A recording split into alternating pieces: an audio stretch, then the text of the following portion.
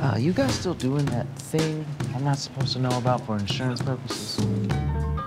Your friend seems like he's seen the other side before, but uh, are you sure you want this?